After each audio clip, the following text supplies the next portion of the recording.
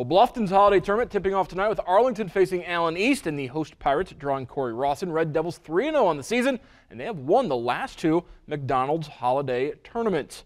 They've got the lead at halftime over Allen East. Michael Blanc 11 in that first half. Arlington up 31-16.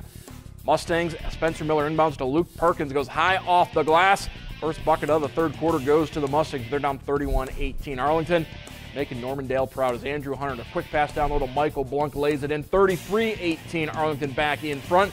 And then more from the Red Devils as Hunter swings it to Aaron Starr. Eyes it, flies it, three is good. It's a 36-18 lead. I believe I'm doing my math right. They've doubled up on the Mustangs and then defense coming through. Hunter the steal. And he's going to lay it in. 20 point advantage. And then miscommunication from the Mustangs, and Hunter picks up the loose ball, goes off glass with it. 40 18, Arlington in front. Mustangs trying to rally. Perkins to Logan Rex, and Rex will drive and get the pretty finger roll, but it would not be enough as Arlington does get the victory 58 38 over Allen so they are moving on.